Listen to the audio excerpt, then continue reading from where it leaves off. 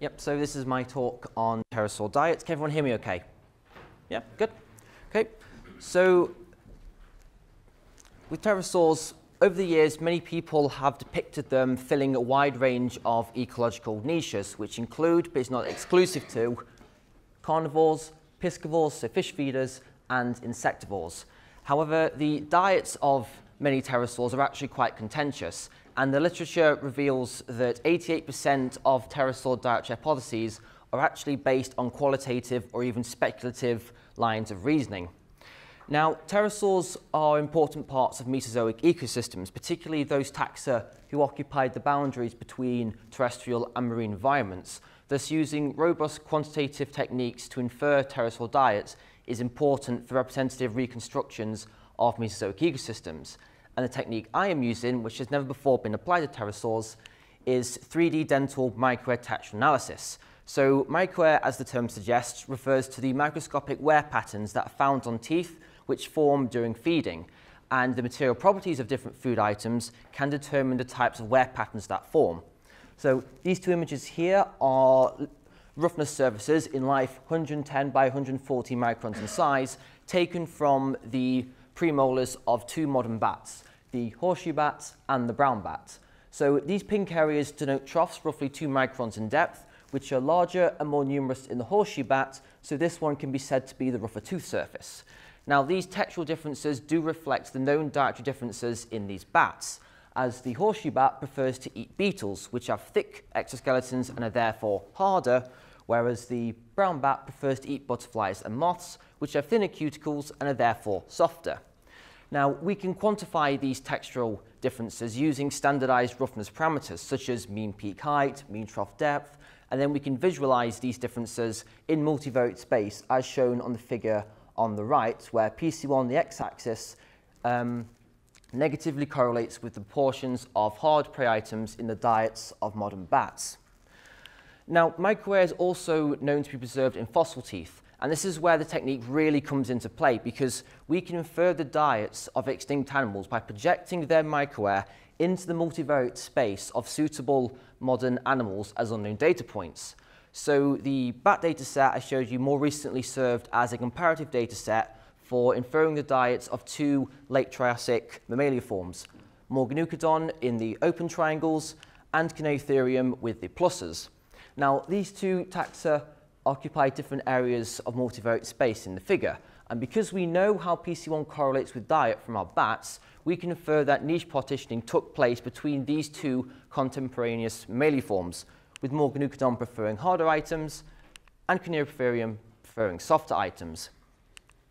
However, pterosaurs are a little bit more problematic because they have no modern descendants.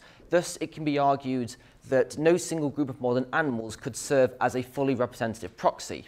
So for my PhD, I've looked at a suite of crocodilians and monitor lizards who um, have different diets as inferred from stomach content studies, and I've assigned them into one of five different dietary guilds. So we have carnivores in red, so consumers of mammals, birds, reptiles, amphibians. Piscivores, so fish feeders in blue. Consumers of hard invertebrates in yellow, so by hard invertebrates I mean things like beetles, crustaceans, and shelled gastropods.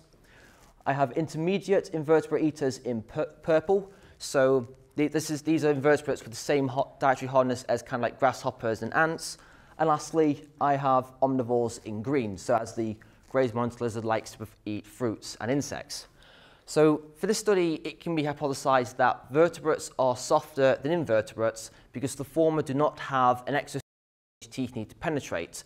Thus, I can hypothesize that micro differences in my modern reptiles sniffling correlate with proportions of dietary vertebrates and invertebrates. So I sampled microwear from the anterior most tooth in my modern and extinct reptiles, and I sampled the labial, so outward facing, non-chewing surface of the tooth as close to tooth apex as possible, as this is the area of the tooth most likely to have come into contact with food.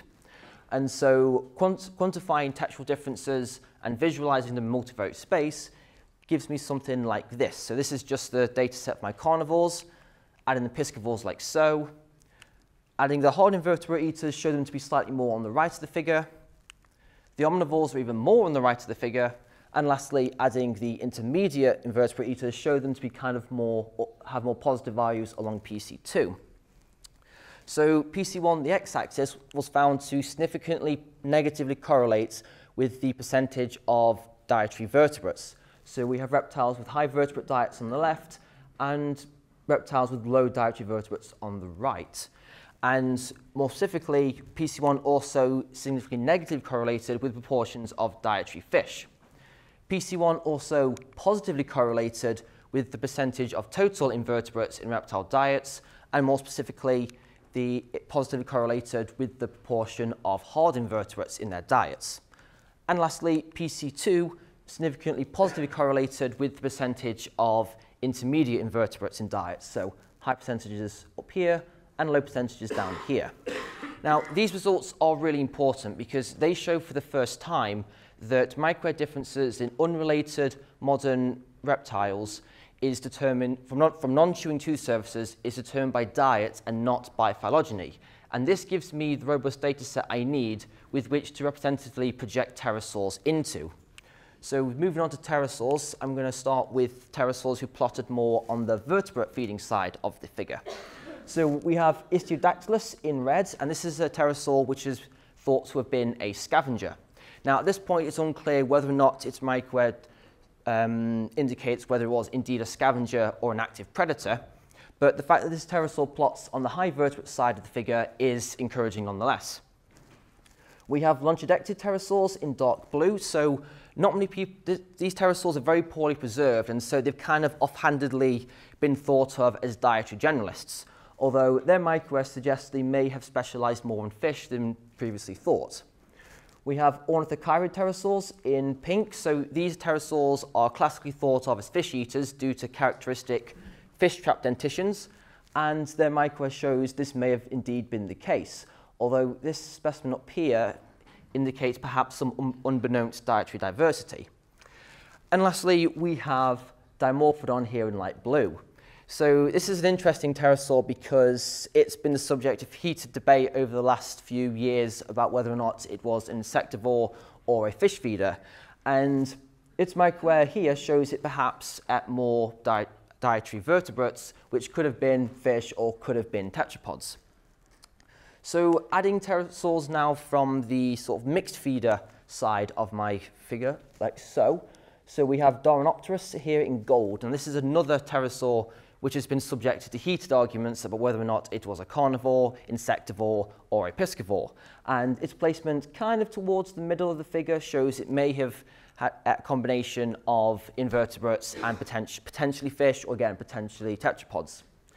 We have Scaphognathine pterosaurs here in purple who show high fidelity in the proportions of vertebrates they consume, but potential diversity in the intermediate invertebrates.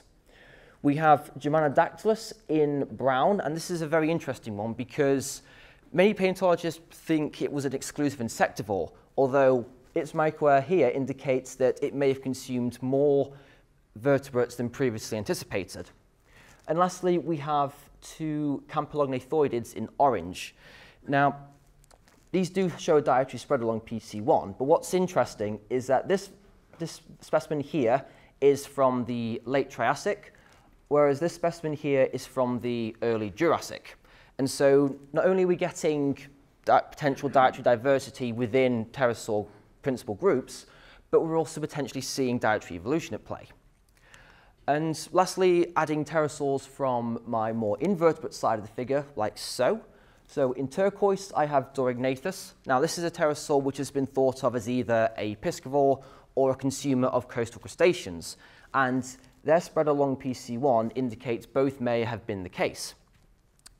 And lastly, I have Pterodactylus in dark green, who has been thought of as a dietary generalist. Now, I should say at this point that the relative clustering of my modern reptiles within their respective guilds and of my other pterosaur groups um, tell me that the spread of Dorygnathus and Pterodactylus is more likely due to dietary variation and not just simply randomly plotting on a multivariate space. So microanalysis is proving to be a powerful tool in understanding the diets of some pterosaurs. But can we go even further into understanding the diets of some species? Now, to do this, I need to introduce the microwear of one more pterosaur, Rhamphorhynchus, who's known from the Solnhofen archipelago in Germany 150 million years ago. Now, this pterosaur has generally been thought of as a fish feeder, although its microwear plots more on the high vertebrate to mixed feeder side of the figure. But what is actually really interesting is that these three individuals are adults, whereas these ones in the middle are kind of juveniles to subadults. So is it tempting to suggest I've got ontogenetic niche partitioning in this pterosaur? Well, to fully explore this, I need to add the microwear from one more specimen, a hatchling, who plots on the high invertebrate side of the figure. Now, are we the first to admit it's early days with regards to sample sizes with the early life history stage, but for now, we can clearly see a shift in ecology with Rhamphorhynchus in age, with the youngest individuals preferring to eat invertebrates and potentially hard invertebrates before shifting their diets with age to include vertebrates and more likely fish. So what does this all mean? Well, lastly, well, sorry, firstly, microwear textual differences from non-occlusal tooth surfaces in unrelated modern reptiles sniffing correlate with diet. Secondly, this study shows for the first time that pterosaur microwear differences are determined by diet, and we can see dietary differences between pterosaur species and even within pterosaur species. And thirdly, and most importantly of all, pterosaurs exhibited a range of diets with different material properties. And this is providing us with some of the first robust information about how, where, these, where these animals truly fitted within their respective ecosystems. So I'd like to thank the following people for Uh, collections access, funders, and I'll be happy to take questions. So thank you very much.